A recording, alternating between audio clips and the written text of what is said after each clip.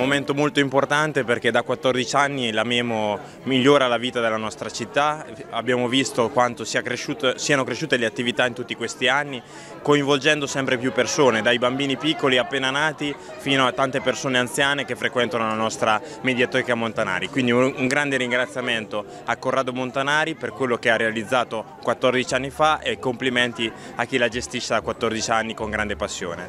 È stato un compleanno molto ricco, è stata una giornata molto intensa, piena di laboratori e anche di partecipazione di bambini, ma anche di persone adulte che si sono prodigate a fare delle attività molto particolari. È venuto il gruppo dell'Uncinetto che ha lasciato un ricordo importantissimo per questo compleanno, una torta fatta interamente a mano all'Uncinetto, un capolavoro.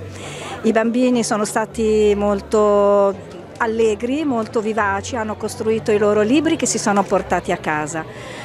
E questo è l'esempio del fatto che questa biblioteca non è soltanto, dicevamo prima, una collezione di libri. Questa biblioteca è un luogo di aggregazione, un luogo aperto a tutte le età e qui possono bambini, adulti, giovani possono arricchire le loro conoscenze ma soprattutto arricchire la loro capacità di stare insieme, la loro voglia di condividere idee, opinioni, progetti. Quindi una vera fucina, un vero centro culturale della nostra città.